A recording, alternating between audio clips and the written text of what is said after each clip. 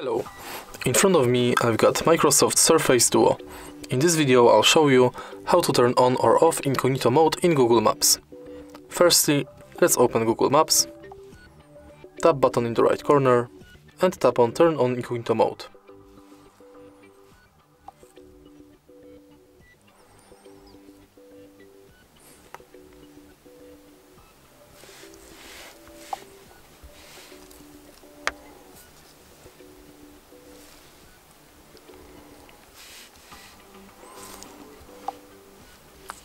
And now you are incognito. To turn it off, again tap here and turn off incognito mode.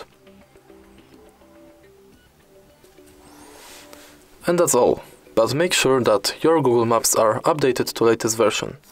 If you find this video helpful, please leave like, comment and subscribe.